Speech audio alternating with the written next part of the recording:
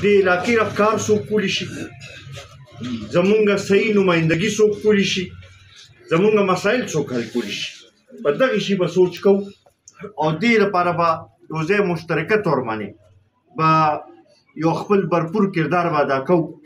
زما دا یقین دی چې تاسو په دې ولاړ ټول نمایندګانو کې که تاسو وګورئ نو د کار په حواله سره د علاقې په مسلو حل کولو په حواله سره د علاقې د مشرۍ په حواله سره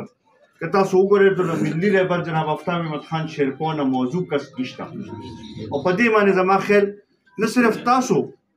بلکې زما خیال د تنګي تحصیل ټول خلک په دې باندې متفق که دا امیدواران هم تاسو کېنوئ نو کېدی شي چې هغوی هم د سره په دې سره اتفاق وکړي چې او د کار تمه چې ده موږ د ملي رهبر جناب مختار محمد خان چیرپونه کوو بیا ولې نه بیا ولې نه چې ټول را پاسو او دغه لاس وځو زه د الک سات راتک په پټیر سم منځوروي دا دې لپاره تاسو ته راغلی چې تاسو زمونږ رونه تاسو مخکې مونږ له لاس راکړې دي او ان شاء الله دې ځل به مونږ له خپه دغه سره نه رسد لاس راکوي او ان شاء الله تاسو په اتفاق سره به ان شاء الله کامیابی وم تاسو به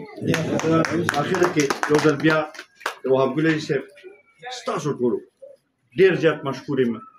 دا کم انتظار چې تاسو کو پاغې باندې تاسو مشکور یم او دغه نستاسو د مینې هغه اظهار هم کیږي دغه نستاسو هغه دغه هم کیږي چې تاسو د پټه سره او د مشر سره مینه ده ان شاء الله